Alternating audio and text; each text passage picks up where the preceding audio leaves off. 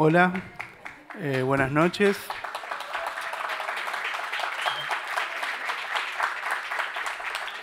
Eh, bueno, bienvenido a Cíclopes, este espacio que pensamos con Roxana en la Biblioteca Nacional. Eh, estamos muy felices de que todos ustedes estén acá porque, bueno, es la biblioteca de todos y por eso un poco se nos ocurrió hacer esto de, de invitar a tantos ciclos que nos hicieron tan felices durante tanto tiempo, nos siguen haciendo.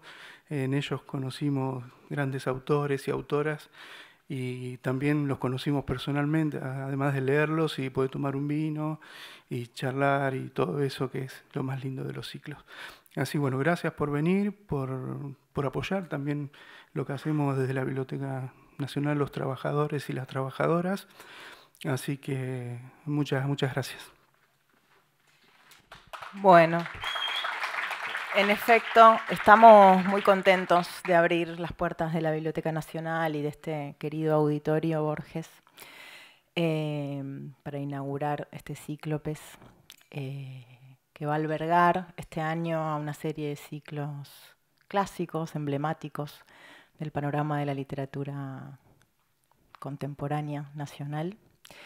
Queremos poner en valor este fenómeno que se expande año a año em, y que de alguna manera subraya el aspecto social del hecho literario y, nos invita al encuentro, al diálogo. Nos parece que es un, momento en el que es importante encontrarnos. Son tiempos muy difíciles para todos y para todas y queremos recuperar el valor de la palabra, de la poesía, de la reflexión, del encuentro, del diálogo, de la escucha y de la alegría también, que en estos tiempos por momentos parece que se nos pierde de vista y queremos aferrarnos a, la alegría, no como un modo de negación de la realidad, sino todo lo contrario, como una manera de mantener activa la esperanza que es tan importante. Así que queremos agradecerles a todas, a todos por estar acá. Queremos agradecer a los compañeros y compañeras de la Biblioteca Nacional que hacen posible este encuentro, la gente de técnica, de salas, de prensa, de video, mm, de diseño, de, de, diferentes áreas que participan y hacen posible este evento. Muchas gracias a todos ellos y ellas. Y por supuesto a ustedes por estar acá. Muy bien, entonces este es el momento en el que les presento a las curadoras de este maravilloso ciclo, que son Pamela Terlisi Prina y Agustina Basterrica. Con ellas y con ustedes, siga al conejo blanco.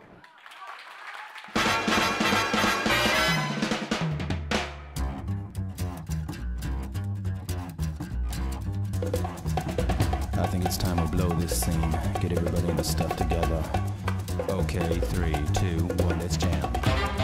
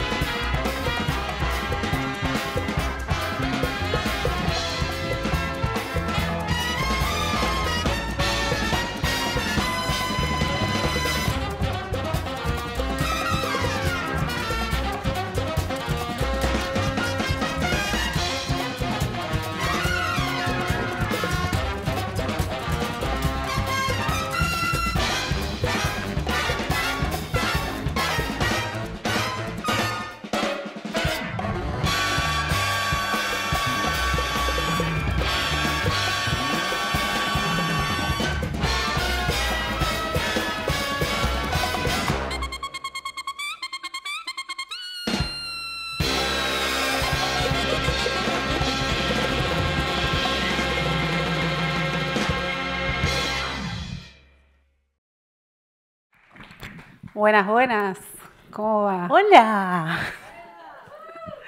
Qué emoción, por Dios.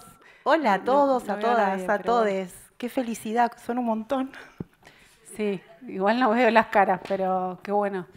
Bueno, gracias por haber venido a todas, todes. Eh, es hermoso que estén acá. Em, bueno.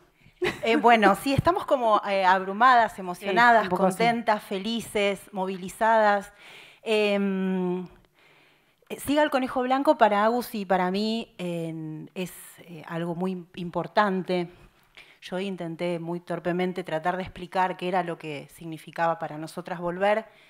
Em, en un punto todo lo que uno hace es muy pequeño y muy insignificante, pero a mí en lo personal me, deja la sensación de haber hecho algo que hizo feliz a otro.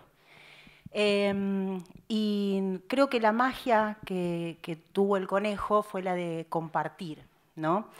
la de generar un, espacio colectivo eh, de pertenencia. Sí, además donde nos intercambiábamos libros, ¿no? Salíamos después a comer o comíamos ahí pizza. Eh, era, digamos, un, un, lugar de encuentro, de comunidad, de, conocer por ahí autores, autoras que no conocías, entonces ibas y comprabas el libro y, bueno, esto sí, eh, mucho enriquecimiento. Tal cual. el Conejo empezó en 2015 con, con la idea de hacer un ciclo al que nos gustaran que nos inviten, ¿te acordás? Sí. Esa fue nuestra idea, ¿no? Generar un espacio eh, que para nosotras era ideal. Y mm, bueno, continuó durante eh, todos los años siguientes hasta que en marzo teníamos nuestra fecha preparada para marzo de 2020 y llegó la pandemia. así que es muy especial volver hoy porque nos detuvo la pandemia y además estamos en un contexto súper adverso para la cultura, ¿no? Hace unos días con Agus hablábamos sobre el post de una escritora que decía em, que la literatura era inútil, ¿no? Y, charlábamos en relación a que eh, hay una manera de ver esa inutilidad como algo enriquecedor, ¿no? O sea, la, realidad es que hacer arte es hacer algo absurdo, ¿no? Es algo que no tiene no tiene un, objetivo determinado más que el hacer mismo. Y eso nos, saca, nos, corre de ese lugar retributivo, capitalista en el que nos pone continuamente el sistema. Claro, no es productivo en términos capitalistas.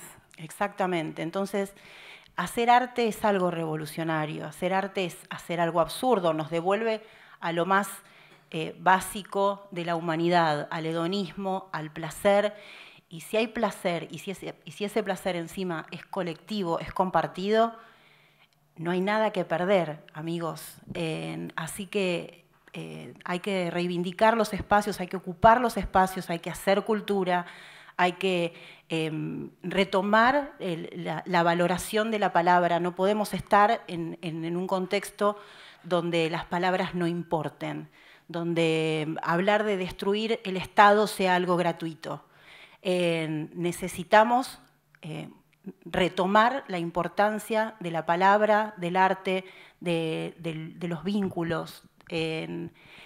estamos en un, contexto de extrema crueldad y que ustedes estén acá hoy para escuchar literatura, a mí me da la esperanza de que no van a ser indiferentes a la crueldad, que van a, van a, poder reaccionar, que les va a importar lo que le pasa al otro.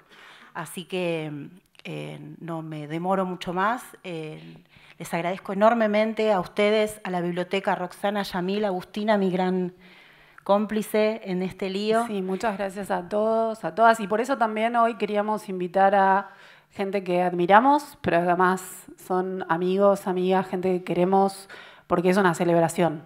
Totalmente. Eh, obviamente que recomendamos todo aquello que ellos eh, hayan escrito. De hecho, no sé si están vendiendo sus libros por afuera. Creo que me parece que sí. afuera. y por otra parte, con cuestiones de logística, todos estos libros que estaban acá, no sé si todos, pero bueno, por lo menos esta pila está para rifar. Bueno, todo esto está para rifar. Así que ahora viene una pregunta fundamental. Todos tienen papelitos. Yo en los asientos dejé papelitos que si los tiraron muy mal hecho. La idea es que, no, por ahí no lo llenen todo, no, no me acuerdo, ¿qué información le pusiste, Pame? No sé. Pero Porque le yo- pongan el nombre. Bueno, eh, que, que lo llenen esos papelitos porque después al final del evento vamos a tener a nuestras dos sorteadoras oficiales que empezaron con 7 y 4 años y van a estar hoy con 15 y 13, 12, 13, con 15 y 13. Entonces con 7 y 5 van a estar hoy con 15 y 13. Así que mm, en los que no tengan papelitos, hay más papelitos. Amparo levanta la mano, ella tiene papelitos para, para ¿Dónde quien... está Amparo? Yo no la veo Amparo está. hace 10.000 años, Dios santo. Bueno, acá en la primera fila hay papelitos sin dueño, digo para que nadie se quede fuera del sorteo. Eh, ¿Y qué más? ¿Me estoy olvidando de algo? ¿Me olvido de algo? No sé. ¿Alguien que me, me- me- sople si me Yo estoy olvidando de algo? No sé, yo estoy saliendo de una gripe, así que no me puedo- no puedes contar conmigo. Bueno, nada, No, no eh, tengo la lucidez. Estamos Pero muy, bueno, felices, muy felices. de estar en la Biblioteca Nacional, que como dijo Yamil es la biblioteca de todos. Así que a ocupar espacios, amigos, amigas. Aplauso para arrancar. Y vamos a llamar a nuestra primera lectora, admirada, querida, Para- amiga, eh, todo lo bello que uno pueda decir de nuestra querida Valentina Vidal, a quien... Vale, agarrá lo que te da Mariano. Porque mi marido me trajo pañuelitos. Igual pueden volver a aplaudir a Valentina, ¿eh? no hay Sí, problema. aplaudan a Valentina, perdón que saqué tu...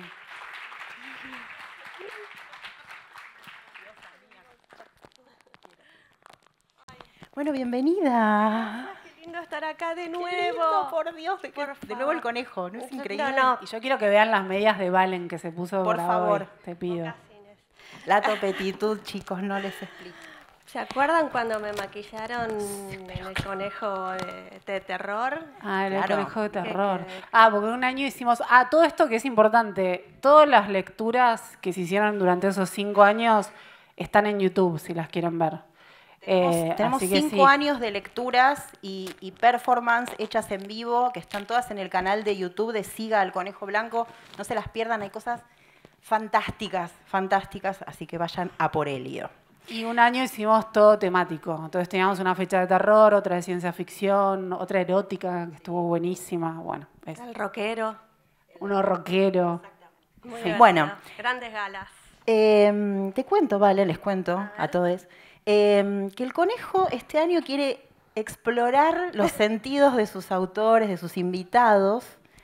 Así que tenemos con Agus una inquietud y queríamos saber, viste que Cortázar decía que su literatura sonaba jazz, era bebop. ¿Cuál es el ritmo de tu literatura? Eh, No me odies. Bueno, yo eh, escucho música cuando escribo. Necesito que sea en inglés para que no me distraiga la letra. En este caso, escuché mucho Lana del Rey para esta novela. Ah, muy bien. mucho Lana del Rey. La queremos mucho, Alana. Muchísimo, sí. Está en noventas. Sí, es tan dramática además y necesitaba mucho drama para esta novela, así que bueno, es, un, es a esa drama queen genial. Un pop oscuro sería. Un pop oscuro. Bien, me gusta. Sí. Bueno, ¿qué nos vas a leer? Les no, voy a ¿no vas a leer el currículum? Vamos primero, Ah, te voy a presentar. Uy, Estamos, estamos oxidadas. Estamos oxidadas, sí, sí, sí. Valentina Vidal nació en Buenos Aires el 11 de febrero de 1969. Es escritora y bajista de rock. Chicos, es bajista de rock, ¿entienden? Publicó Fondo Blanco, su primer libro de cuentos por la editorial Llanto de Mudo, ediciones en 2013. Fuerza Magnética, su primera novela por Tusquets Editores en el 2019. La Pared, relato intervenido por la editorial artesanal Omayu en 2023. Y Volátil, que imagino que es lo que vas a leer, sí. su segunda novela también por Tusquets Editores a fines de 2023. Bueno, Bueno, les Cuando voy a leer el primer capítulo. De frente al espejo te miras.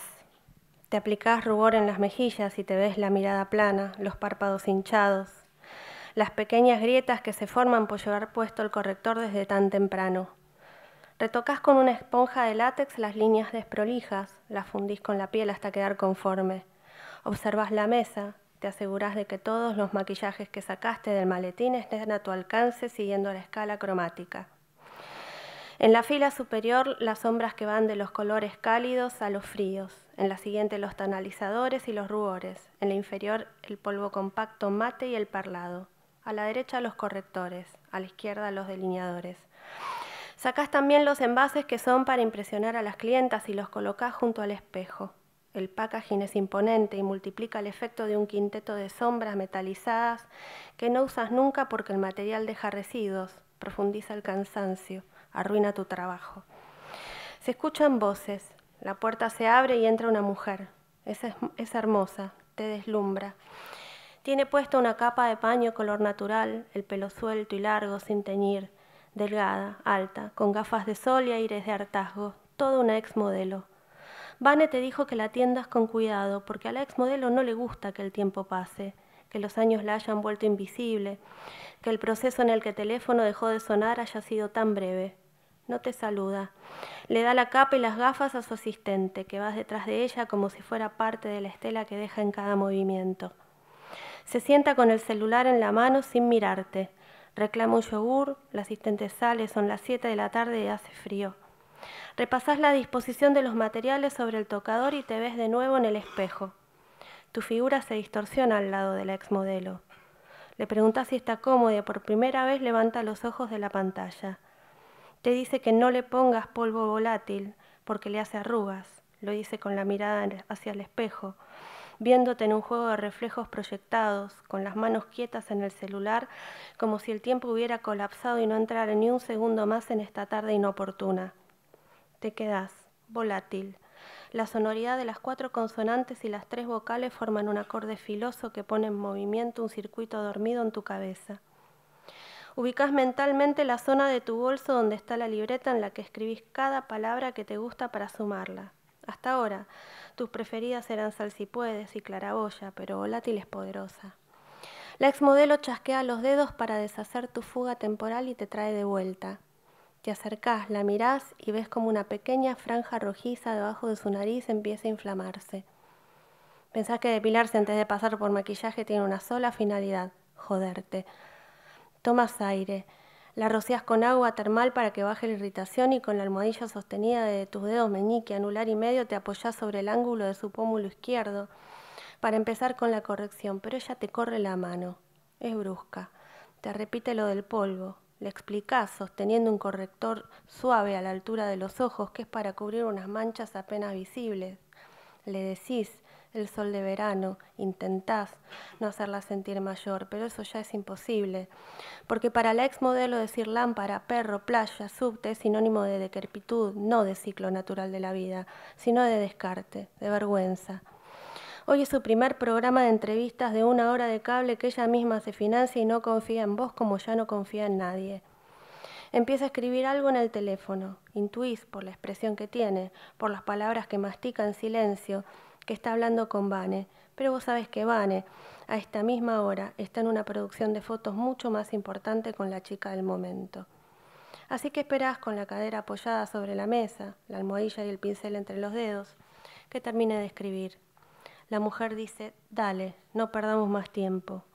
Con calma te volvés hacia los pinceles, cambias el que tenés, pasás las cerdas por la mano para sacar cualquier excedente. Preguntas si quiere que antes le hagas una pequeña limpieza, pero no te responde. Lejos de sorprendente, la mirás y, em, y empezás a pasarle el de maquillante que le compraste a Nico. No te alcanza para acceder a los del estudio de Vane. Te equipás con las sombras, los rubores, los polvos translúcidos que Nico cocina en su laboratorio casero y después los colocás dentro de los envases del estudio. Nadie lo nota, ni siquiera Vane, porque la materia prima es la misma. Destapás el frasco con la crema, la colocas con unos pequeños golpes descongestivos y la distribuís con masajes energizantes. Pasás, suave, los discos de algodón cargados por la zona alrededor de los ojos y haces lo mismo alrededor de la boca. Dejás algo en la comisura de los labios, más de un lado que del otro, a propósito, para que se fastidie con el desbalance. No lo tolera, con el dedo índice se saca el sobrante del producto y te lo muestra con desprecio.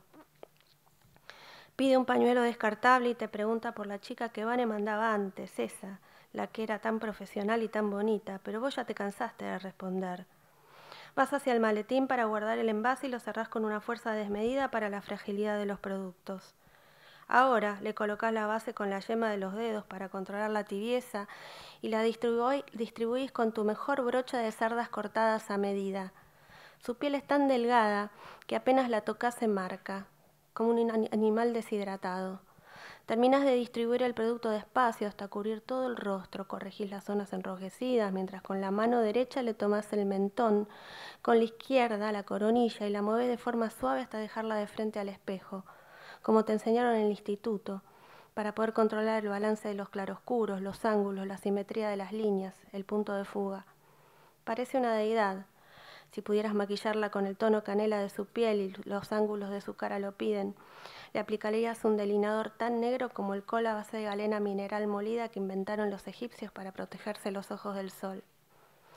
Ella se resiste, deja el cuello rígido para que no la puedas mover y la soltás. Estás conforme porque la base está bien puesta. Sos buena en eso, nunca un reclamo. Agarras la paleta de sombras nuevas, la exmodelo atiende el teléfono. Interrumpe tu trabajo, pero algo en vos que todavía no podés identificar se desprendió. Mientras esperas a que termine la llamada, ella, sin soltar el celular, inclina el cuerpo hacia adelante y con la otra mano agarra la botella. Toma sorbos del pico, te mira por el rabillo del ojo. Ves su lengua envolver el plástico, el agua que se desliza hacia su boca, seguís la gota que serpentea por el mentón y desaparece en el cuello, hasta que traga con ruido a propósito, no más para molestarte y arruinar el momento. Estira la mano, te da la botella, señala dónde dejarla sin decir una palabra. Del bolsillo del jean saca un chicle y deja el envoltorio arrogado sobre tus maquillajes. Le decís que no podés maquillarla con el movimiento que hace el masticar, pero no te contesta, te desafía. Exagera el chasquido de la lengua.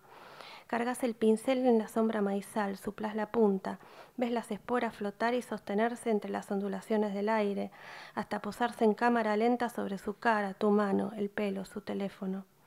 Ella cierra los ojos, tira la cabeza para atrás y podés ver en la tensión de su cuello la resistencia al desvío de una tarde sencilla que se vuelve un vaso roto. Pero a vos ya no te importa.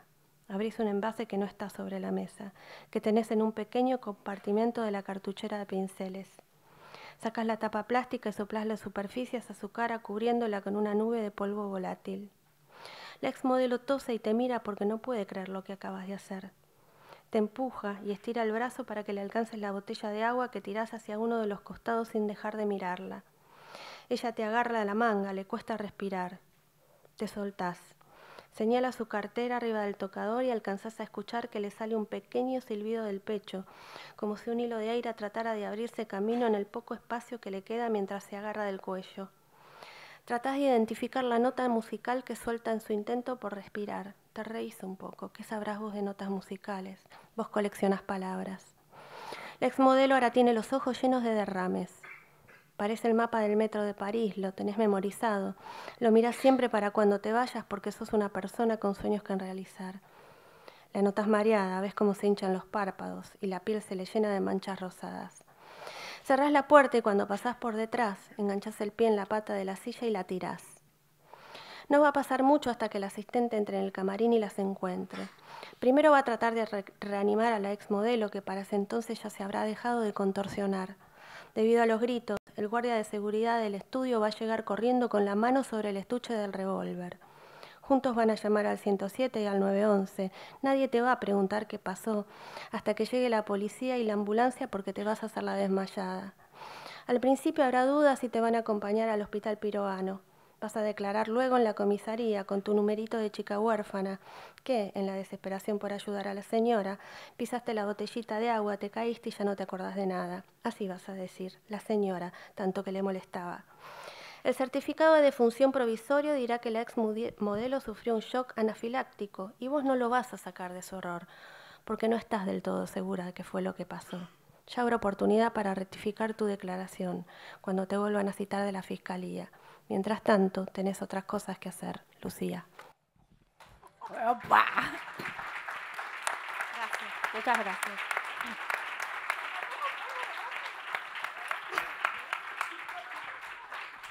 Chicos, la mató con polvo volátil. ¿Se dieron cuenta? Tenemos un homicida en potencia. Se lo merecía. Vos no dijiste que eras maquilladora vos, guacha. La señora. Bueno, muchas gracias. Muchas No, gracias. bueno, Vidal. yo le quiero preguntar algo a Valen. O sea, yo sé por qué hay que leer este libro, porque lo leí y lo presenté. Sí. Te hago una pregunta que a mí no me gusta que me hagan, pero te la voy a hacer porque sabes. ¿Por qué hay que leer tu libro volátil, Ay, Valentina Vidal? Uf, eh, bueno, porque creo que... mm, Ay, qué difícil esa pregunta. Guacha que soy. Sí, no, bueno, creo que es una historia que se va, mm, que se va metiendo muy de a poco, eh, por etapas, y va hasta, hasta el núcleo de las razones de, los por, de los porqués las personas pueden tomar diferentes caminos, de los claroscuros de las personas, donde no hay ni héroes ni villanos, o sea, cada villano, cada, cada cosa mal que hace Lucía, cada cosa bien, tiene, tiene una razón. Y creo que eso es lo que somos un poco todos, ¿no? Ni blancos ni negros, estamos llenos de colores. Las Y circunstancias. sí, y creo que es, traté de escribir eso, por eso también hay, hay un gran flashback en la mitad de la novela, para también contar un poco de dónde viene Lucía y por qué le pasan las cosas que le pasan. Bueno, bien leanla. que respondió. che. Sí, muy bien. Sí. Lean Volátil y también Gracias. Fuerza Magnética, que es este. Bueno, lean a Valen. Gracias, Valen. Bueno, gracias por esto, porque para mí es, me llena el corazón. Saben lo que amé siempre el conejo, para mí era lo más ir al conejo y, y las conocí a ustedes y mis amigas de ustedes y de mucha gente que está acá hoy. Así que gracias y gracias a la Biblioteca Nacional. Aguante la cultura, vamos todos con eso. Gracias, Valen. Lo bueno es que los, los próximos lectores ya saben que tienen que pensar por qué hay que leer su Sí, pero no vamos a hacer las mismas preguntas. Bueno, em, después de este homicidio con polvo volátil, les voy a pedir un fuerte aplauso para Federico Janmer. ¡Janmer! Bueno, bienvenido. Qué lindo tenerte acá. Ah, gracias. Ay, gracias. Yo les voy a contar a ustedes. em, con Federico durante un fin de semana completo fuimos el amor de nuestras vidas. Sí. Siempre lo cuento, porque fue, fue un amor eh, Fugaz. abrasivo, pero, Ah. breve. Fuertísimo, fuertísimo. Breve, breve. Bueno, como son los amores Como son los amores verdaderos. verdaderos. Pero después nos hicimos muy, muy amigos y yo no les puedo explicar lo que me hace reír Federico. O sea, Sí, ya hoy que nos... No sé si lo puedo contar. eh, la sí, historia del podés, shampoo. estamos en el conejo. Del shampoo de hoy. Podés, podés- contar lo que quieras. Yo no Pero puedo yo porque quiero no que lo cuentes vos. privada, Que una señora que te dijo... Sí, una señora le dio un shampoo matizador Sí. para que se vuelva rubio. Fue, fue siempre rubio. Bueno, No, ven no lo que sé les si digo. se nota porque van tres puestas. Pero Claro, me dio un sobre muy chiquitito que son cuatro, o sea que es- no creo que sea mucho más que esto. Bueno, ven lo que les, no les miento. Es Mm. todo el tiempo así con Federico. Bueno, em, les voy a contar algo de Fede, además de que fue el amor de mi vida. Eh, nació en Varadero, provincia de Buenos Aires, en 1957. Es licenciado en letras y ejerció como profesor de literatura argentina en la UBA. Ha escrito más de, no- de 20 novelas, no tenía tele, por eso. Ha escrito más de 20 novelas, entre ellas Montevideo, Una Virgen Peronista, Huerra, Amores Enanos y La Banda de los Polacos. Con Mitre obtuvo el premio Ricardo Rojas en 2001, el premio MC con vida anterior en 2008, el premio Clarín con Más liviano que el aire en 2009 y el premio Quiñones con Darwin o El origen de la vejez en 2021. Algunos de sus libros fueron traducidos al alemán, al francés, al portugués, al italiano, al griego, al árabe y al checo. Enamorado del Quijote, ha publicado el ensayo Una lectura del Quijote, que es una adaptación para jóvenes del libro de Cervantes, y una biografía ficticia, Miguel, que resultara finalista del premio Herralde en 1990. Acaba de ganar, además, como si todo esto fuera poco, el premio Conex de novela en 2024. ¿Cómo haces? ¿Estás acomodado? Sí. Yo creo que influye también lo del pelo, ¿no? Los ojos. Eh, Los ojitos rubios. sí, sí. Debe Muchas ser. cosas. Muchas cosas. Sí. Bueno, ¿y qué nos vas a leer? No, y la me- pregunta, Pamela. Tenés razón, tenés razón, tenés razón. Bueno, pregunta? viste que estamos con esto de los Ah, sí. sentidos, ¿no? Bueno, Sí. queríamos saber, con Agus nos preguntábamos, ¿cuál era el sabor de tu infancia? El sabor. Supongo que lo que más me gustaba era mm, un postre de vainilla que hacía mi abuela que tenía mucho olor, con caramelo arriba le ponía, eh, que era bastante fácil de hacer, era con maicena, que la fábrica estaba en mi pueblo y sigue estando. Y mm, supongo que lo hacía por eso, porque era barato.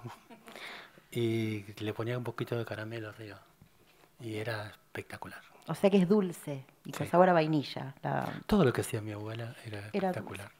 Qué hermoso. Ser ella era espectacular. Muy bien. Bueno, ahora sí.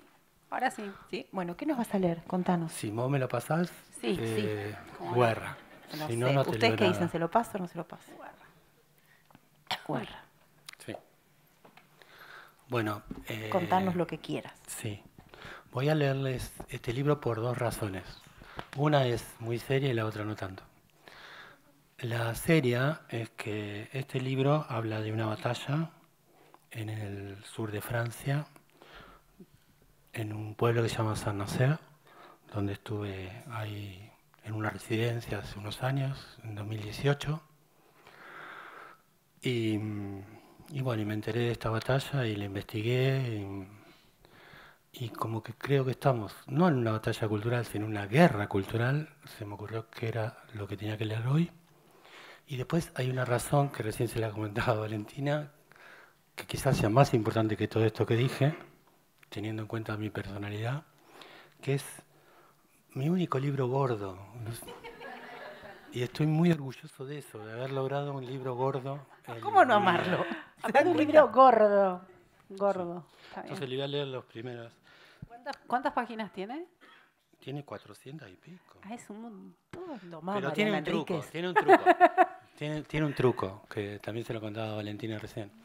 Eh, son 189 capítulos muy cortitos, porque son Ah. 189 los muertos de la batalla. Pero son 189, escúchame, son un montón. Sí, por eso queda tan largo, pero en realidad son capítulos cortitos, pero como algunos terminan la mitad de página y pasa a la otra, O sea, es, Se un, hizo go- es gordo. un gordo mentiroso. claro, sí. Está bien. Es un gordo fragmentario. Entonces van a ver que los capítulos... No sé, es feo lo que estoy Cuando quieras. Es muy gordofóbico. Bueno, eh, por eso van a ver que voy a leer los tres primeros capitulitos. eh, eh, van a ver que dice un título que por ahí no tiene nada que ver con lo que voy a leer, pero eso es lo que me gusta de este libro también. El primero se llama O Air. Anoche, mientras dormía, los franceses atacaron Siria. Desde un portaaviones estacionado sobre las aguas del mar Mediterráneo, partieron un par de bombarderos que destruyeron precisos objetivos militares, sitios en donde se fabricaban o se almacenaban armas químicas, asegura el diario de esta mañana. Francia no atacó sola, la acompañaron fuerzas de los Estados Unidos de América y de Gran Bretaña. Pero este último añadido no cuenta. Lo que realmente cuenta para mí es que estoy viviendo en Francia desde hace poco más de un mes y no entiendo ni la de anoche ni en verdad ninguna otra guerra. Me resultan muy difíciles de entender. Aunque en este caso, sobre todo, lo que no alcanzo a comprender tiene que ver con que uno de los países involucrados sea justo el país en donde estoy viviendo y esta mañana las calles y la gente de mis alrededores no muestren la menor alteración respecto de la mañana de ayer. ¿Acaso no nos ocurren las guerras que ocurren lejos de donde dormimos o de donde tomamos café? Allá por los años 60, a mi padre le gustaba sentarse por las tardes frente al televisor a mirar, en blanco y negro, combate. Era a fines de los 60 y principios de los 70, si no recuerdo mal. Y yo me sentaba junto a él. No sé si lo hacía con deseo de mirar la serie o lo hacía con la vana ilusión de compartir al menos un rato con un hombre que no acostumbraba a compartir casi nada conmigo. Combate trataba de una patrulla americana, luego del desembarco de los aliados en Normandía, que mataba a todos los alemanes que se le cruzaban por el camino durante la Segunda Guerra Mundial. Los escenarios eran descampados o bosques o pequeños pueblos rurales de Francia. La patrulla estaba integrada por un teniente y unos cuantos soldados, uno de ellos francés. Pero claro, el personaje fundamental era un sargento, el valiente sargento Chip Sanders, protagonizado por el actor Vic Morrow. Un tipo tan rubio como mi padre, un superhéroe americano, alguien a quien mi padre le habría gustado parecerse en algo más que el color de su pelo, si es que el orgullo le hubiera permitido concluir sus estudios militares y la fortuna ser parte de alguna guerra que no sucediera por televisión. Mi padre murió hace una eternidad, sin haber entrado jamás en batalla. Y la Segunda Guerra Mundial, ahora que lo pienso, nos quedaba igual de lejos en el tiempo. Había terminado 25 años antes de que nos sentáramos a mirar combate, a como el bombardero de anoche, lejos esta vez de la distancia, cientos y cientos de kilómetros, nos queda lo que habíamos... Agua. ah, gracias. Nos queda a los que habitamos algún rincón de Francia esta mañana tan fría. Definitivamente, creo que no ocurre aquello que no nos ocurre. Ay. El segundo se llama She Baker. Uno de los motivos por los cuales escribí este libro es que este pueblo, San Acer, donde ocurrió esta batalla, tiene dedicado un monolito y un lugar donde están los nombres de todos los muertos, los 189. Y me impresionó mucho porque si mi pueblo hubiera habido una batalla, qué sé yo, ocuparían la mitad de la plaza los nombres de los muertos, los que dejaron la vida por, Ahí era una cosa muy chiquitita que no daba ni siquiera para los nombres de pila de los muertos. Estaba la, la inicial del nombre y el apellido. Por eso lo investigué uno por uno después. Bueno, disculpen a todos. Aquí en San Nacer, medio siglo más tarde de la sananza de la patrulla de combate, y también en Francia, muy lejos de Siria. No hay tanto para hacer. Por eso quizás es que suelo perder mis mañanas pensando en las guerras, mientras desayuno café con un yosonopón y leo el diario en Le Dauphin. Le Dauphin es casi todo vidrio, ventanales apenas separados por mínimos de pared que permiten sostenerlos. Un bar que evidentemente no fue pensado para sufrir una guerra ni siquiera para convertirse en escenario de algún episodio de combate. Las paredes son lo único que podría servirnos de defensa ante una ráfaga de ametralladora enemiga. Seríamos un blanco demasiado fácil. por los ventanales del Dauphin están sucios, siempre. Sucios por culpa del fuerte viento y de las infinitas llovinas o lluvias que caen sobre San Nazaire en esta época del año los últimos días del invierno y el comienzo de la primavera. Y también están sucios, sospecho, porque no tendría demasiado sentido limpiarlos cuando al rato volverían a estar igual de sucios que antes. Aunque, quién sabe, bien podría tratarse de alguna oculta artimaña bélica, en el caso de que unos alemanes o unos sirios de repente aparecieran en el horizonte, armados hasta los dientes, la suciedad de los vidrios algo nos recuerdaría. La que atiende la barra es una mujer, no siempre la misma, se turnan. Y todo lo que no es vidrio o escasa pared en el dofén está pintado de color fucsia.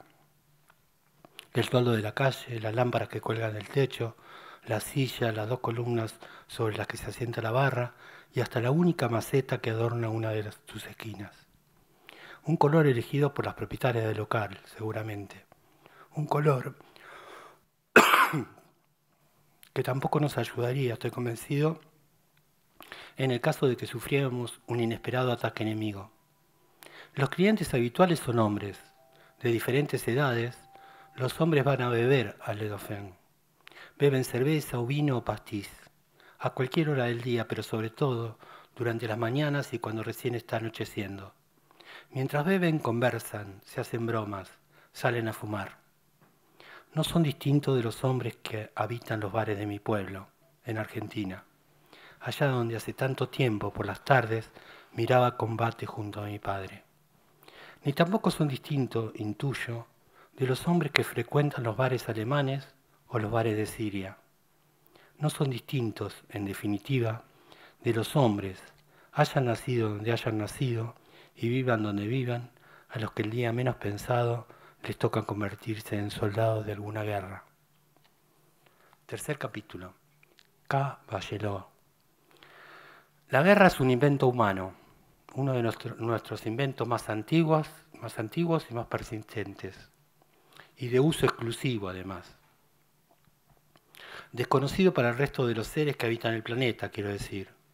Los animales de una especie pueden combatir contra animales de otra especie, puede pasar, pasa. Eso tiene que ver con la necesidad de alimentarse o con los deseos de sobrevivir. También las plantas pueden luchar contra otras especies de plantas para ganarse un lugar más saludable en donde crecer y multiplicarse con éxito. Pero no hacen la guerra entre iguales, nunca. Entonces, resulta casi obvio que si la guerra entre iguales no existe en el resto del mundo animal o vegetal, una de las razones primordiales de su condición de posibilidad tiene que ver con que a los seres humanos nos cuesta reconocer como iguales al resto de los seres humanos que no son exactamente como nosotros. Algo así como que un sitio no es igual, un sirio, no sitio, un sirio, no es igual a un francés, un holandés no es lo mismo que un alemán, un chino no se parece en nada a un japonés y un argentino jamás de los jamases podría ser de la misma especie que un inglés. No sé, se me ocurre. Quizás porque en San Nacer no hay demasiado para hacer, o quizá porque los sucios ventanales de la Dauphin no me protegen de casi nada. Aunque es verdad que los sirios, al mismo tiempo que son bombardeados por los franceses y los británicos y los americanos, también están bombardeándose entre ellos mismos. Unos sirios contra otros sirios. Evidentemente, mi primera hipótesis después del desayuno de esta mañana resulta un tanto endeble. Tendré que revisarla. El asunto parece ser bastante más complejo.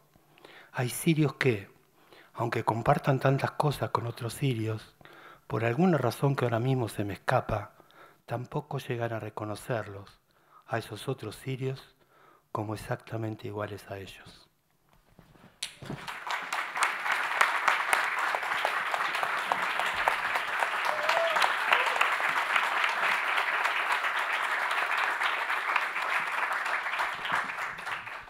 Que no queremos argentinos contra argentinos, por favor. Sí. Gracias. Sí, por eso elegí esa partecita. Sí. ¿Alguna pregunta? Me voy antes que me haga preguntas, Agustina, que hace preguntas horribles. no, pero creo que te contagié. la de las preguntas jodidas. no me tendrías no, que... No, yo vengo, yo vengo de... de a ver, Creía que había salido. No, yo lo que quiero decir es que vos tenés un libro que se llama Fernández contra Fernández, que cada capítulo es Fernández contra Fernández Fernández, Fernández contra Fernández Fernández Fernández. Sí, es genial. No sé, hablanos un poco de, algo. ¿De eso, de los Fernández? No sé. Bueno, ese libro, eh, sí, eh, ese libro nació, yo vivía en una esquina cuando me separé, me fui a vivir con mi hijo a una esquina que es Hipólito Yrigoyen y Sarandí, a una cuadra del Congreso, lugar del planeta con más palomas por metro cuadrado que uno deja abierta la ventana, vivíamos segundo piso de la calle encima. Y caca de palomas. Sí, no se te meten adentro, son imposibles. Bueno, eh, y había una señora que se bajaba de un colectivo, o sea, no vivía en nuestro barrio, se bajaba de un colectivo con, todos los días con una bolsa de pan y, y los tiraba en la esquina nuestra. Eh, entonces hicimos un grupo, un grupo de vecinos que la fuimos a ver, eh, y le pedimos que por favor cambiara de esquina. O sea, que se bajara en la, anterior. Total, las palomas se iban a enterar igual. La iban a seguir. Nunca lo conseguimos. Y entonces eh, empecé a escribir esa novela, aunque no lo pueden creer, para matar a esa señora. Ya que no lo podía hacer, que era lo Son que me todos homicidas los escritores, ¿se dieron cuenta? Sí, claro. Y entonces la maté en esa novela es hermoso que todos se llamen Fernández, eso. Bueno, eso porque yo venía de un viaje a China Y viste con eso de que los chinos son todos iguales, es mentira, todos los chinos son distintos. Y, y entonces me pareció que estaba bueno hacer una, novela en la cual no hay narradores, eh, son todos personajes Fernández. Eh, incluso hay un momento que aparece uno por la calle y es Fernández también. Eh, y bueno, era un momento que la política argentina estaba dominada por los Fernández. Entonces, tiene este, un epígrafe de Macedonio. Está muy cuidado el libro para, para los Fernández. Argentina, no lo entenderías. Entendería. Bueno, Fede, Bueno, un gracias. millón de gracias. Gracias. Eh, después de todo esto, eh, vamos a invitar a nuestra próxima lectora, eh, así que preparen sus manitas para aplaudir mucho a nuestra querida Consuelo Iturraspe. Hay que besarse mucho, ¿no? En estas épocas. No sé, a mí me dan ganas. ¿Qué tal? Hola, Buenas compi. noches. Bueno, ella se llama Consuelo, pero es compi, ¿o no?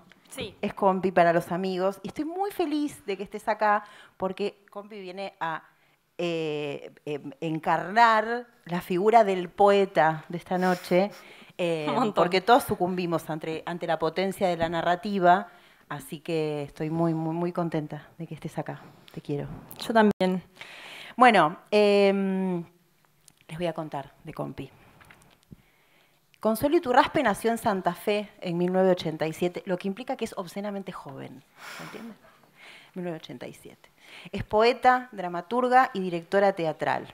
Estudió dramaturgia en la Escuela Metropolitana de Arte Dramático y cursa la licenciatura en Artes de la Escritura en la, Uni- en la Universidad Nacional de las Artes. Creo que hay una docente tuya en la sala. Sí. Puede dar fe de mis notas. Exactamente. Participó en festivales nacionales e internacionales de poesía y de teatro. Su última obra, Cemento, recibió el premio Banco Ciudad a las Artes Escénicas con el apoyo del Complejo Teatral de Buenos Aires. Su obra, Un tiro cada uno, está actualmente en cartel. Publicó los poemarios Acaricio Perros, de Editorial Santos Locos y de Ediciones Liliputienses en España, y En lugar de dormir, de Concreto Editorial, que salió hace muy poquito y se presentó. Eh, también coordina el ciclo de poesía Cicatrices. Recomiendo enfáticamente, fervorosamente, que vayan a ver Un tiro cada uno. Es una obra de teatro ejemplar, brillante, eh, en- en- hermosamente compuesta y puesta en escena. Eh, así que dicho esto, Justo quiero decir que cortamos por eh, cuando te mandé cuando te mandé el avión, ¿no? Pero volvemos en el pero vuelven, por eso sí, estaba en todo agosto programado. al Conex. En el Conex. Sí. Tremendo. Bueno, eh, sí, vayan a ver eh, un tiro cada uno, que bueno, fuimos a verla con algunas de las personas que están hoy acá y es maravillosa. Así que, mm, bueno, viste que estamos con esto de los sentidos, Sí. ¿no? Y quería preguntarte, ¿cuál sería al tacto la textura de tu libro preferido? La textura de mi libro preferido. O sea, que eso incluye la pregunta ¿cuál es mi libro preferido? Si querés, si lo querés omitir, no nos ofendemos. Em, es raro lo que voy a decir, pero es, es algo áspero. Eh, me gustan mucho los rusos. Vamos a dejarlo Dato. ahí. Muy bien. ¿Hay algún Stravinsky acá? Eh, quiero decir unas palabras, ¿puedo? Sí. Recién lo pensé. Eh, estoy muy contenta eh, de estar leyendo en la Biblioteca Nacional. Creo que es, es un, más allá de lo particular, que tengo un vínculo afectivo muy, muy lindo, que fue como el primer lugar que me llamó la atención de, de Buenos Aires. Yo soy de Santa Fe. Em, no sé, y venía a caminar a la explanada, como traía gente, como si fuera mi casa.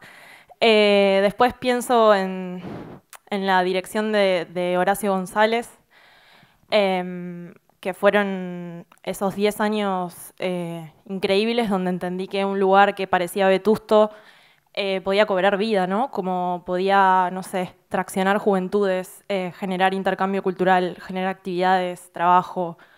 Em, siento que me pone muy feliz estar acá y celebro que estos ciclos se puedan estar haciendo. Y gracias chicas por invitarme, de verdad.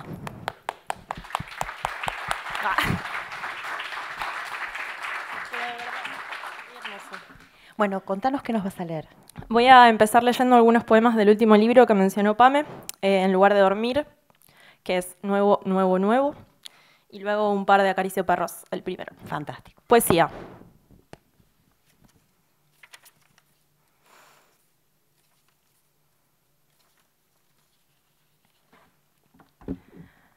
Asma. Esa noche me despertó un silbido. El niño, un pez largo, resistiendo en la superficie de su cama, tan cerca de la mía, escupiendo por la boca a una criatura sin voz. Tardé años en entender por qué a mi hermano le faltaba algo que estaba en todas partes. Apreté con miedo las sábanas, no pedí ayuda, soñé que nadaba en un río. Él regresó dos días después, sano, con los ojos achinados. Yo prometí no volver a dormir.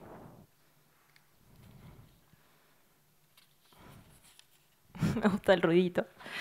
Debería haber dicho algo brillante. El abandono no es un barco que zarpa a la mañana, por ejemplo. Ahora dormís y se te escapa que yo también puedo hacerte cosquillas en la nuca, leyendo en voz alta libros escritos por mujeres. Este año hubo pérdidas, sopló el viento sobre nuestros ojos inflamados, pero el que viene, por favor, cambiemos pastillas por poemas. Si dormimos, ¿quién va a ofrecer la espera? ¿Qué van a iluminar los veladores? ¿Cómo vamos a escuchar el mar?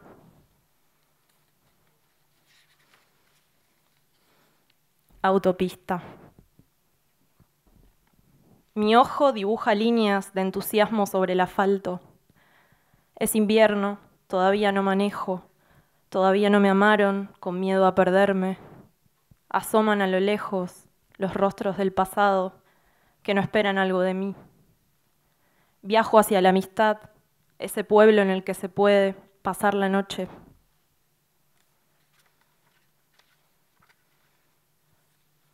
Comentario. Anoche una mujer que amaste usó un diminutivo para referirse a vos. Di vueltas en la cama pensando en el asunto.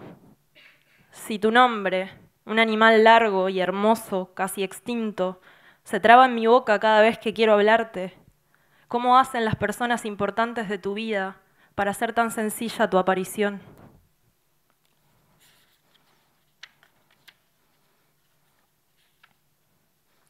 Nos separaba un muro. Llevabas una tristeza delicada y tu nombre era breve como debe ser lo que se queda vivir en la memoria. Tu madre había muerto, tu padre volvía de noche. ¿A quién esperabas entonces sentada en la vereda con la mirada fija en las cosas ásperas? Querías algo que no entendía. Empezaste a vestirte con remeras que dejaban ver tu ombligo y una vez por semana te visitaba una amiga. Yo la odiaba por arrancarte de mi silencio. Nunca me acerqué. ¿Qué podía reunirnos? Te dedicaste a maquillar mujeres, yo a escribirlas. El día en que tu muerte vino desde lejos, algo se quebró en el pasado, como si la pared que nos separaba cayera de golpe y enterrara con polvo las espaldas que nos dimos, toda esa ternura sin probar. El mago. El año del pánico, ensayamos una obra de teatro, preparándonos para que volvieran a abandonarnos. Nuestra fuerza era el diálogo, porque trabajabas en una empresa telefónica y conversar era gratis, pero también porque crecía un hechizo, un idioma dentro de otro. No éramos personas sin dormir en una ciudad, éramos un animal de la calle, recuperándose del frío. Cuando el miedo aparecía, como aparecen los accidentes, y a veces también la belleza intentaba calmarte. Si pudiste esquivar todas esas piedras que te arrojaban cuando eras niño, con la astucia que todavía hoy te hace escapar del amor, ¿qué cosa podía dañarte? ¿Acaso no estábamos a salvo? Dos más de este y voy al otro. Mundial en otro país. Corría como escritora, con la urgencia de alguien que necesita alcanzar una palabra. No perdía un ser querido, estaba perdida en una lengua otra, en la que decir permiso o gracias significaba abrir la boca dos veces. En el pasillo del hospital me cruzaba con banderas de equipos difíciles. La voz que gritaba gol era la misma en todas las habitaciones. ¿Por qué no gritaba esa voz alguna otra cosa? Supe enseguida que una creencia no sana, una creencia es un amante. Mi padre se moría, sobre su cuerpo robado caían papelitos.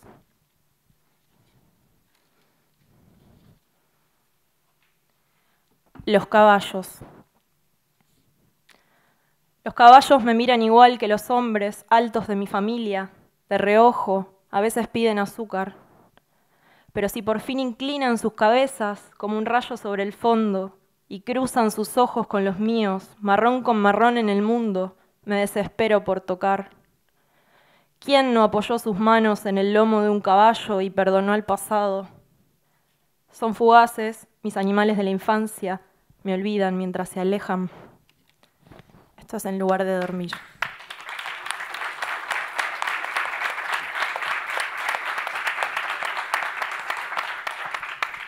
Muchas gracias. Leo dos de Acaricio Perros, libro publicado por Santos Locos, y me voy.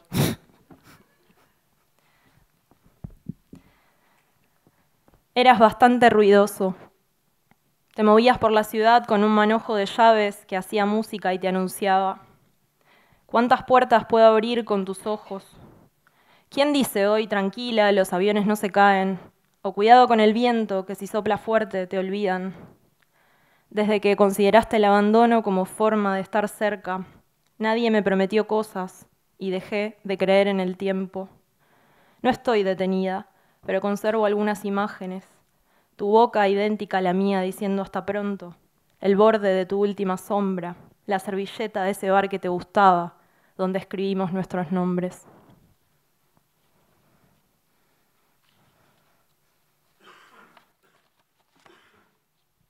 No te escribo. Acaricio perros en la calle. Les saco fotos a palomas arrolladas por un Uber. Todo lo que me gusta es pequeño, está muerto o tiene un libro en la mano. Muchísimas gracias. Gracias. No te vayas, no te vayas. No, yo tengo una pregunta. ¿Qué eh, poetas contemporáneos le recomendás a la gente para que lea? Bueno, hay ahí en la mesa creo un libro que, recopila. yo soy curadora del ciclo Cicatrices. Creo que eh, esas personas que están ahí, eh, o sea, las llamo porque las admiro, porque me gustan sus voces poéticas, su trabajo, lo que vienen haciendo. Si querés las nombro. nombramos? Son 33. Elena Aníbali, Mariano Blatt, Francisco Vitar, Osvaldo Bossi, Flavia Calice, Pancho Casas, Alejandro Croto, Maite Esquerré, Francisco Garamona, Silvina Giagante, Marie Guric, Patricia González López, Paula Jiménez España, Nahuel Lardies, Walter Lescano, Daniel Lipara, Julián López, Clara Muschietti, Robin Myers, Andy Nachón, Pilar Otero, Fernanda Pérez Bodria, Milagros Pérez Morales, Natalia Romero, Julieta Esbar, Laura Esbar, Sonia Scarabelli, Virna Escolari, Pamela Terliciprina, Melina Alexia Barnaboglou, Susana Villalba, Laura Whitner, Verónica Yata. Y vos. Bien. Bueno, y una cosa más que también tiene que ver con este libro. Em, hay muchas personas que hoy están acá que, o han hecho o han colaborado con la gestión cultural. Saben que es una tarea titánica, que, es, que no reditúa, que te lleva mucho tiempo. Eh, que a veces frustra y sin embargo seguimos ¿no? en, esa, idea, como con una constancia, una obstinación. Entonces quería que, vos les cuentes por qué haces cicatrices y por qué deberían ir a cicatrices o a cualquier otro espacio de gestión cultural independiente. Bien.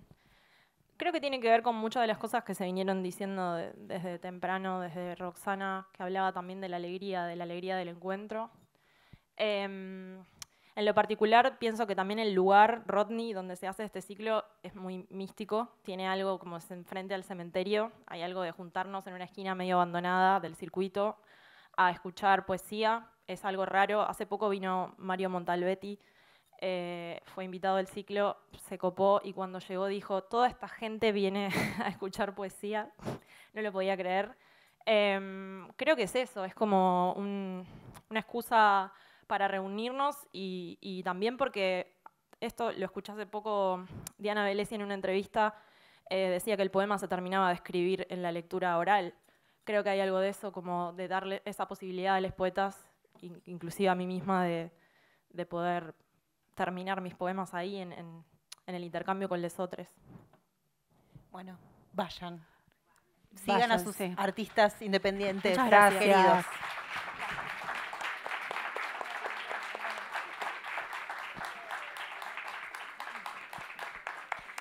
Bueno, y ahora sí llegamos al final de nuestras lecturas y para eso les voy a pedir que aplaudan muy, muy fuerte a Martín Sancia Kawamichi in the house. es lo mejor que les puede pasar en la vida. Sí. O sea, y sabe un montón de cuentos de fantasmas. Tiene, le pasaron cosas con fantasmas. Además de ser un gran escritor, un gran amigo, eh, si hay algo que tiene Sancia es que es el mejor contador de anécdotas del mundo. Del mundo. O sea, yo desafío a cualquiera a escuchar a Sancia impertérrito, que no, que no, sin reacción, es imposible. Es eh, maravilloso. Gracias por estar hoy acá, Sancia, te quiero tanto. por la invitación y por esta exageración también. Y aparte es socio eh, fundador. y tiene algo muy fundamental que tiene una gata que se llama Satánica. O sea, ya está. Tiene una gata que se llama Satánica, chicos, no sé por qué no están aplaudiendo Claro, totalmente, o sea, Satánica. Fantástico Paralítica, pobrecita. Y es paralítica. Y es paralítica. paralítica. Son las esdrújulas al palo. No quería decir eso, Sati, pero sí, es paralítica. Sí, sí, no, es un, Dato. Un, detalle importante. Bueno, eh, Qué lindo que estés acá, estoy muy, muy contenta. Yo también. Eh, les decía, Sancia, socios fundadores de la primera temporada, de la primera hora, del primer minuto, del conejo. Em, y bueno, nada, con Agus lo queremos mucho, igual que al resto de los chicos que han pasado hoy por acá. Les cuento que tengo mucho para decirles de Martín.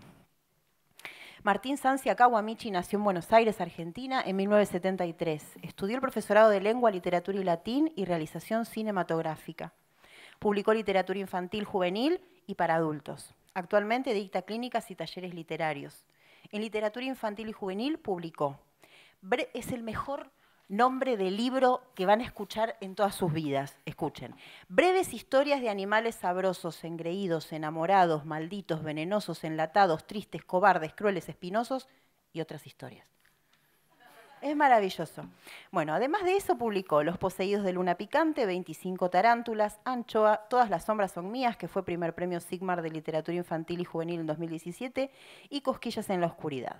En literatura para adultos publicó Otaru, que es el libro que por suerte tenemos para, para, sortear, que también fue primer premio en el concurso de novela negra Van y publicada también en España.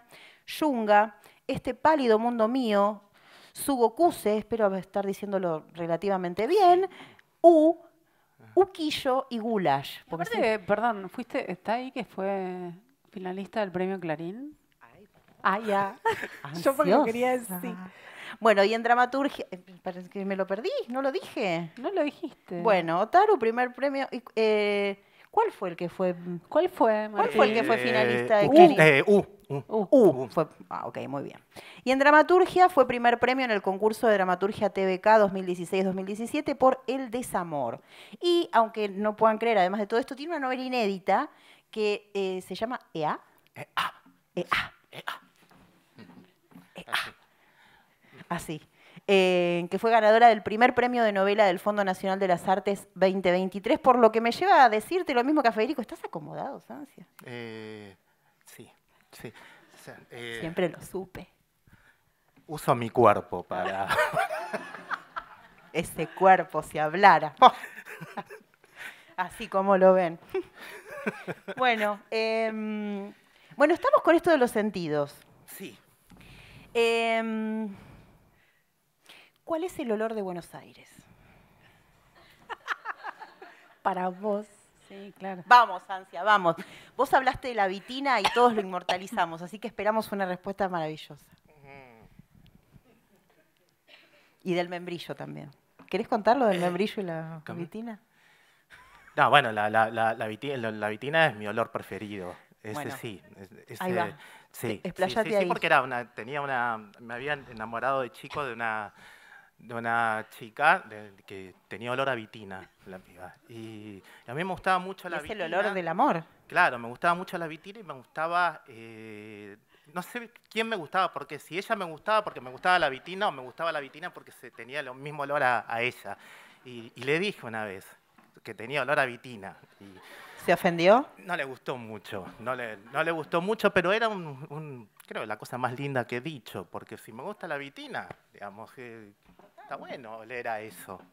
Si a mí me dijeran que vuelo a milanesa napolitana, me sentiría orgulloso de mí. Tomá, Colbert, Ojalá, claro, claro. porque- Antonio claro. Bandera, Eh, Kenzo, ¿quién sos? eh, claro, claro, claro, claro. eh, Bueno, y sí. hay una cosa más que nosotras hacíamos un cuestionario conejo eh, en, en los años previos del ciclo y le preguntamos a Martín qué le recomendaría para leer a su peor enemigo. Nos contestó que no sabría exactamente porque su peor enemigo es el membrillo. ¿Entiende? El dulce de membrillo. El sí. dulce de membrillo es su Sí, peor enemigo. Sí, Sí, pero me pasó. eh, eh, fue- tuve una batalla con el dulce de membrillo porque yo a los 13 años. A los, dos, a los 13 años trabajaba en una panadería, limpiando, limpiando la- las latas, la- las latas y todo lo que, lo que se ensuciara en una panadería. Y una vez me dieron, fue el, el día que murió Olmedo, que yo estaba ahí. Dato. Me acuerdo, me acuerdo de eso que me dan para, me entrega al gallego, que era el dueño, me dice, toma, lava esto, y me da un tacho así lleno de dulce de membrillo, y me desmayé. Y me desmayé con la cabeza dentro del tacho de dulce de membrillo. No, no, y, y bueno, ¿cómo no lo voy a odiar a un ser tan detestable? Casi escupo todo el agua. Sí, sí. ¿Ven? Es lo mejor que Bueno, puede pasar. eh, Buenos Aires en esta época huele a dulce de membrillo. ¿En serio? En estos años, sí. Sí, sí, sí. sí. No, claro, en estos años. sí. De diciembre. Ok, desde Sí. diciembre para acá decís Claro, más o menos. claro, sí. Bueno, El olor más antiperonista que hay. el es lo, membrillo. el membrillo es antiperonista. Ay, lo amo, lo amo. Bueno, em, nos va a salir un cuento, Sansi. Estoy muy cuento, feliz sí, con sí, eso. sí, sí, me sí, encanta, sí. me Voy a encanta. leer un cuento Contanos. ¿Está publicado o es inédito? No, no, es inédito. Hermoso. es Miren qué inédito. regalito. Eh, voy a leer una, como salió esta novela, voy a leer una, bueno, queda mal, no sé, no haber sacado una novela y no leer nada. Voy a leer la primera oración y la última de la novela. Advertencia 1. Esta es la historia de un pudor. Esa es la primera oración. La última. Nos gustan las cosas inexistentes que raspan. Sos un capo, Sancia, sos un capo. Se llama El abedul de Carlock.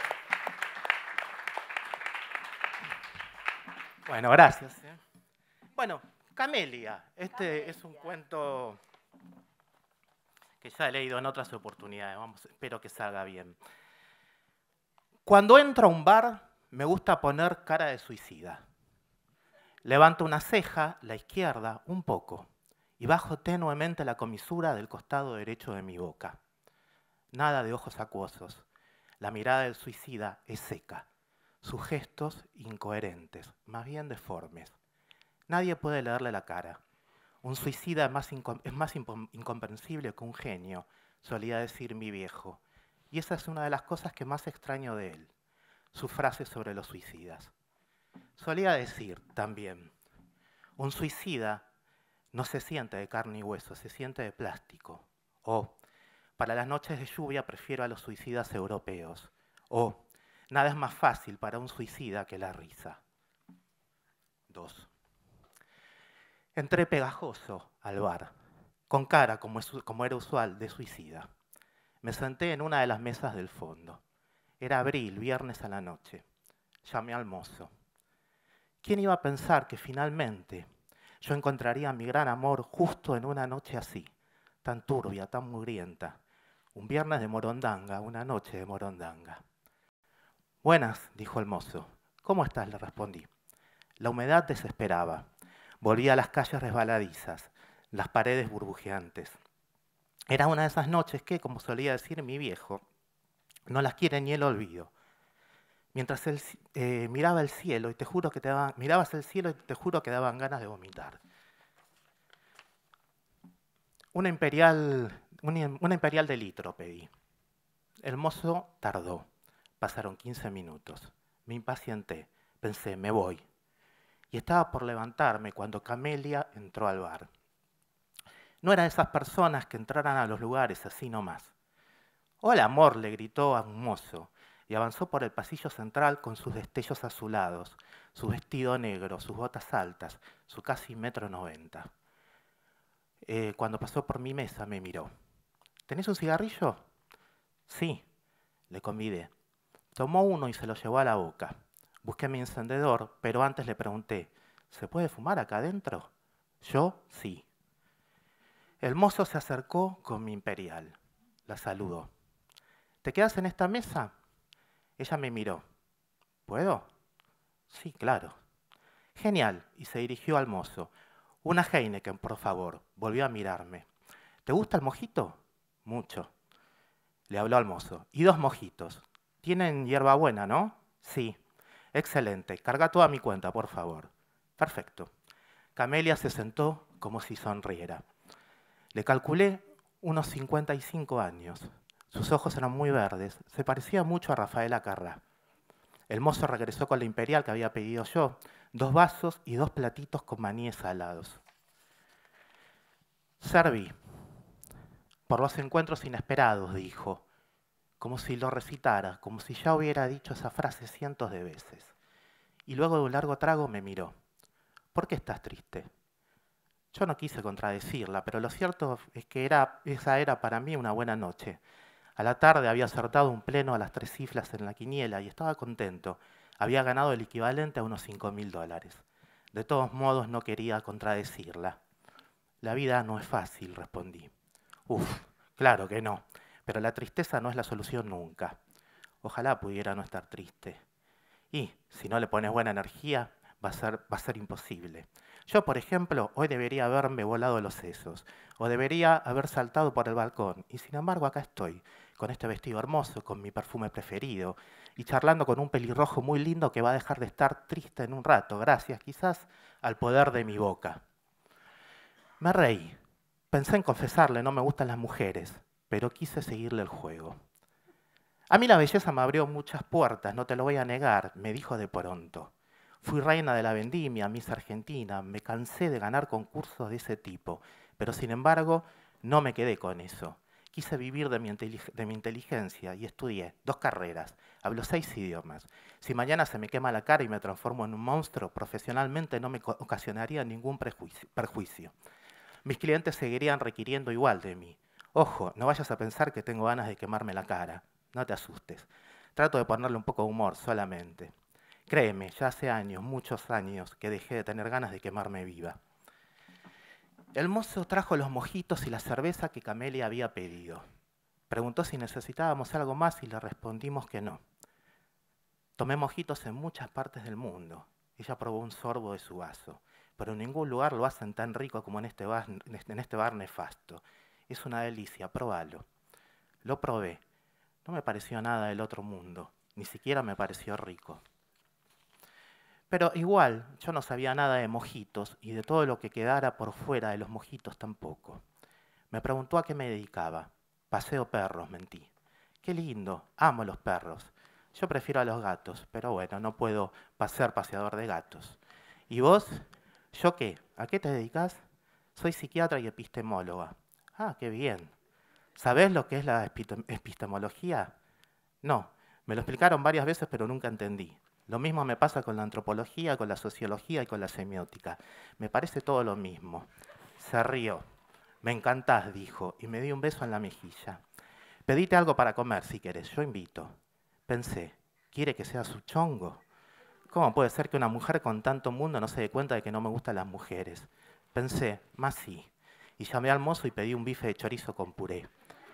Pensé, ¿querés un chongo que te viva? Ahora vas a tener un chongo que te viva. 3. El bar en el que estábamos quedaba sobre Rivadavia, dos cuadras de once. Los vidrios estaban tan sucios que la gente que pasaba por la avenida se veía como manchas, destellos opacos. Comí el bife de chorizo con puré y ella dijo, estás muy flaquito, pedite otro. Yo no estaba muy flaquito en absoluto, al contrario, tenía unos 10 kilos de más. Por eso que me dijera muy, que me dijera muy flaquito me levantó el espíritu. Llamé al mozo. Pedimos otro bife de chorizo, esta vez con papas fritas, otra ronda de mojitos y otra Heineken de litro. Me gusta cómo masticás, me dijo ella. Pareces un asesino. Me sorprendió. ¿Te gustan los asesinos? Se quedó pensativa, como si realmente la estupidez que acababa de preguntar mereciera una respuesta seria. No, pero creo que me excitaría que vos mataras a alguien frente a mí. Verte matar a, a un hombre más grande y fuerte que vos. Me gustaría ver eso, creo. Tragué la carne, me metí tres papas. No, en realidad creo que no me gustaría, agregó, como si no hubiera terminado su reflexión. Sería horrible verte matar. Prefiero esto, verte comer. Acabó su mojito en un solo trago. Qué lindo que comes. Le convidé una papa frita, no quiso. Quiero que comas vos. Y entonces pasó algo extraño que jamás me había pasado antes con nadie. En un momento pensé, ojalá me diga que tengo lindas mejillas. Y apenas terminé de pensarlo, ella me dijo, qué lindas mejillas tenés. Sonreí como si mis mejillas en movimiento fueran un premio para ella y pedí más bife de chorizos, de chorizo y dos cervezas más y otros cinco mojitos. Aquel encuentro casual había, eh, casual había tomado para mí el siguiente esquema. Hablábamos del tema que fuera, yo de pronto pensaba, ojalá me elogie las mejillas. Ella al segundo me decía, pedite otro bife, dale, así veo cómo, cómo, se, cómo bailan esas mejillas tan hermosas. Pedíamos más comida para mí, más bebida para los dos. ¿Vos qué pensás de la plata? me dijo de pronto. ¿De la plata? Sí, del dinero. Ah, pienso que es un mal necesario. No, en serio, es una pregunta seria y requiere una respuesta seria. Lo que pasa es que no sé qué pienso del dinero. ¿En serio me lo decís? Sí te hacía más inteligente. Pero en fin, tenés mejillas portentosas y eso me huele a la cabeza. Pedite más papas fritas. No, basta, ya está, no me entra más nada. Qué pena, tengo un montón de plata, muchísima, y quiero gastarla todas en bife de chorizo con papas fritas para vos. ¿Y vos qué pensás del dinero? Que si no existiera, seríamos todos invisibles. Pero deja, no tengo ganas de explicarlo, y lo importante ahora es otra cosa. ¿Qué? Si vas o no a acostarte conmigo. Se acercó para besarme. Sí, obvio que voy a acostarme con vos. Qué lindo, me besó. Con una torpeza que nunca tanta torpeza que nunca pudo encontrar mi lengua. Me di cuenta de que ya el alcohol comenzaba a quebrarla. ¿Vamos? Sí, llamó al mozo. Cóbrame, corazón. Eran más de las dos cuando comenzamos a caminar por Avenida Rivadavia hacia su casa. ¿A dónde estamos yendo? dijo. En ese momento pensé por primera vez, me rajo. A tu casa, respondí. Dijiste que vivías acá a la vuelta. Ah, sí, por Hipólito Yrigoyen. ¿Y vos vas a venir conmigo? Sí. O sea que vamos a agarchar. Parece, sí. Pero si vos sos puto, ¿o no? Cruzó la avenida, la seguí. Por supuesto que soy puto, putísimo. Yo odio a los putos. ¿Por? A mí me cagaron la vida. Mi primer marido se fue con un puto un asiático puto, laosiano creo. Mi segundo marido también me dejó por un puto, pero no asiático, polaco, jovencito. Y mi tercer marido, aunque parezca mentira, se fue con otro puto, un peluquero. Si salís con un puto que no sea un peluquero, que no sea peluquero ni bailarín, la gente tan novia me asquea. Se, se detuvo en un kiosco. Hola Manuel, ¿cómo estás? ¿Pueden ser cinco? El hombre le entregó cinco latas de litro de cerveza. ¿Querés un chocolate? me preguntó. No, dale, y le dijo al kiosquero, un captcha. Me entregó la golosina, la bolsa con las cervezas, y seguimos caminando. Se detuvo porque no podía guardar el vuelto que le había dado el kiosquero. Buscó su billetera, sacó varios billetes grandes y me dijo, toma, ¿para qué me das? Tomá, pelotudo.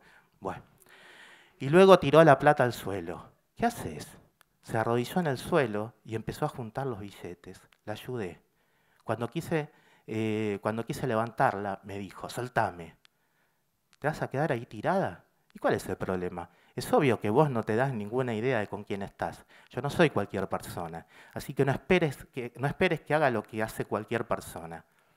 Se puso a avanzar en esa posición, en cuatro patas.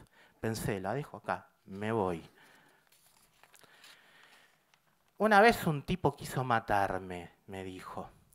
No quiero dar nombre, pero no pudo, me salvé. El tipo era un psicópata, pero no sabía con quién se había metido. Terminó en cana. Cuando salió 15 años después, una tarde fui a buscarlo. Le dije, me quiero ir a matar a Mar del Plata, quiero que me acompañes, que no trates de convencerme de nada. Y si al terminar el quinto día ya no me maté, listo, podés matarme y hacer con mi cuerpo lo que se te antoje. Se detuvo. Parate, dale. Está bien, pero porque vos me lo pedís, a mí me importa tres carajos que estos pelotudos me vean así. No son nadie, no son nada. La levanté. Dimos cinco o seis pasos y nos topamos con un bar que tenía algunas mesas en la vereda. Ella fue directo hacia allí y se sentó. Ya es tarde, le dije. ¿Qué va a ser tarde? Y quédate tranquilo, porque acá nos vamos a agarchar. Antes una cerveza más y termino de contarte lo, ese, lo del tipo ese, el psicópata. Se acercó al mozo, pedimos una cerveza de litro y un bife de chorizo con puré. Contame, le dije. Ah, sí, no fue eso que te conté. No, ah, ah, sí, no, fue eso lo que te conté. Me fui a Mar de Plata cinco días con el tipo. Él estaba las 24 horas conmigo. A la noche yo me iba al bar para hacerlo estilo Alfonsina, pero no me animaba. Terminaba pidiéndole ayuda y él me sacaba del agua. Al final, la mañana del quinto día, me levanto y lo veo colgado de una viga del comedor. Fue horrible. Nunca, nunca en mi vida me sentí más traicionada. Y eso que me traicionaron mucho. ¿Es en serio lo que me estás diciendo? ¿Qué cosa? Lo del tipo este que se suicidó. No, ¿cómo va a ser cierto? Ese tipo no existió. Ah, sos más boludo de lo que spoilea tu cara. Me levanté y fui al baño porque sentí que me dolía el pecho. Necesitaba vomitar, vomitar y tirarme a dormir. Intenté un llanto, pero no me salió. Cuando volví, Camelia estaba hablando con un muchacho. Mira qué casualidad, me dijo ella, un alumno. Luego agregó, se llama Diego, y es coso como vos. ¿Coso? Sí, puto. Me reí. Diego se rió. Y así fue que nos conocimos en esa noche endiablada, Diego y yo. Si me acompañan a mi casa, la podemos seguir ahí, dijo Camelia. ¿Quieren? Y sí, obvio, fuimos. Epílogo.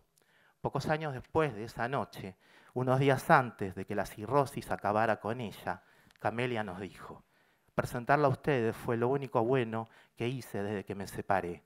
Los veo y pienso, bueno, para algo sirvió que mi corazón esté tan, tan, tan, tan, tan roto. Muchas gracias.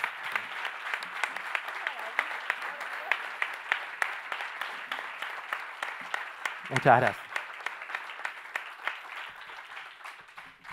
Qué barbaridad. Te queremos, Ansia.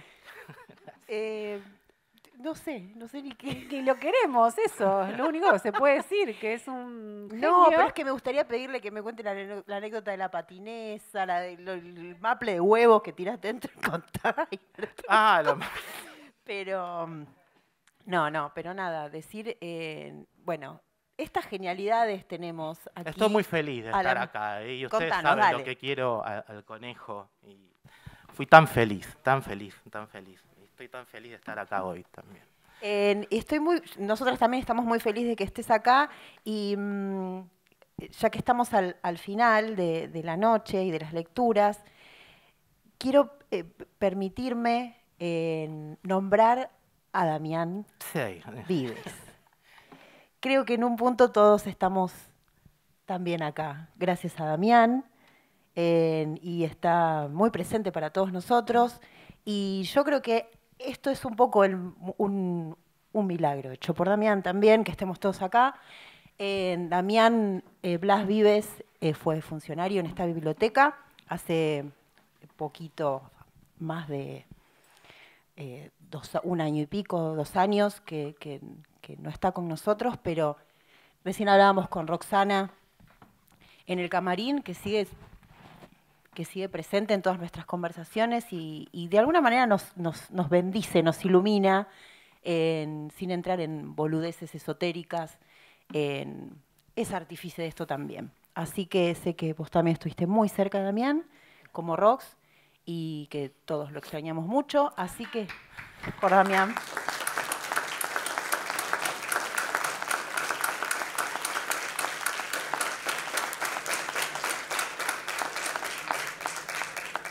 Y bueno, eh, no sé si vos le querés hacer alguna pregunta más a Sancia, pero si no, eh, en agradecerte una vez más por estar acá. Bueno, gracias pedirte por solo del nombrarlo a- a escenario. Dami, ¿eh? No, por favor.